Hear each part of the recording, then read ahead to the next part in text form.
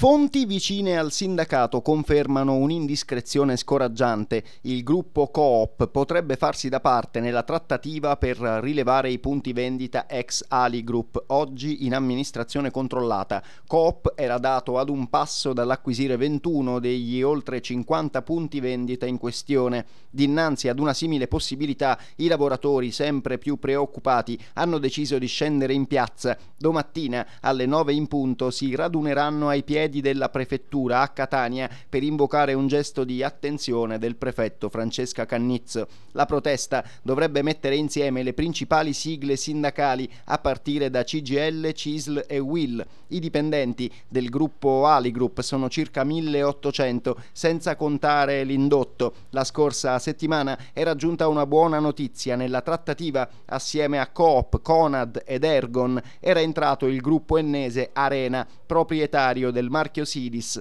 con l'intenzione di comprare quattro strutture tra iper e supermercati. Prosegue inoltre la procedura con cui Ali Group dovrà ripianare i propri debiti verso i circa 2000 creditori. L'avvertenza è dunque sempre più complicata.